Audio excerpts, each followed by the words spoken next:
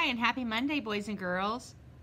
You know, I wanted to see if you guys could share what you did this weekend. I'm just here with my friend Earth.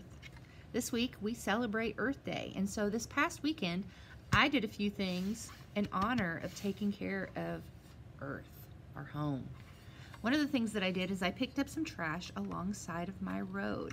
Some of the people who drive down my road throw trash out their windows, and so I went out and picked it all up as far as I could walk and back.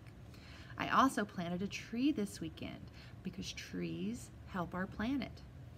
This week we're going to be talking about all kinds of ways to protect the earth because Earth Day is one of my most favorite holidays. Also because it's one of our kindergarten standards. Kindergartners are supposed to know ways that they can help take care of the planet. I'd like you to share what you did this weekend. And then hopefully the next time we talk, about the earth, you'll have some ideas about what you can maybe do on another day.